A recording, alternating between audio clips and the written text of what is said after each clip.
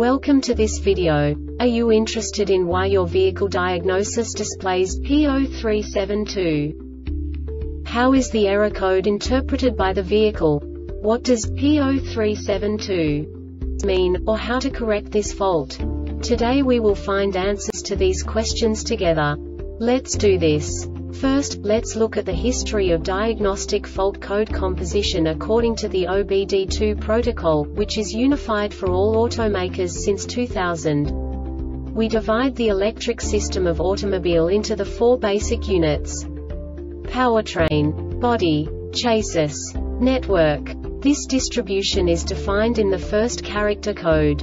If the second character is expressed as zero, it is a standardized error. In the case of numbers 1, 2, 3 it is a more prestigious expression of the car-specific error. The third character specifies a subset of errors. The distribution shown is valid only for the standardized DTC code. Only the last two characters define the specific fault of the group. Let's not forget that such a division is valid only if the other character code is expressed by the number 0. Our website airbagreset.sk produces useful videos for you. You do not have to go through the OBD2 protocol anymore to know how to troubleshoot any car breakdown. You will find all the diagnostic codes that can be diagnosed in a Chevrolet vehicles. Also many other useful things. The following demonstration will help you look into the world of software for car control units. You unbelievably can move the video a bit further. The error code is split into two bytes consisting of 16 bits. One bit is the basic unit that each computer works with. The bit has two logical states. 0, low level, 1, high level. By combining the first two bits, the basic character of the error code is expressed. The next two beats again determine the second character. The last beat styles of the first byte define the third character of the code. The second byte is composed of a combination of 8 bits.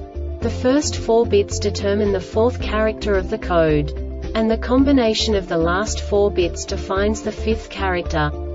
A single byte conceals 256 possible combinations. We now know in what way the diagnostic tool translates the received information into a more comprehensible format.